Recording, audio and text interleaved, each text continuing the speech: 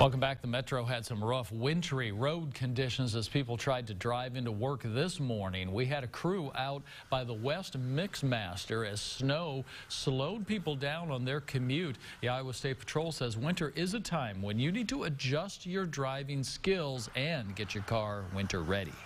And also checking your tire tread and depth, making sure that's good and uh, proper and legal for the state because uh, we've had accidents in the wintertime that happen because people don't have the proper uh, tire tread and depth.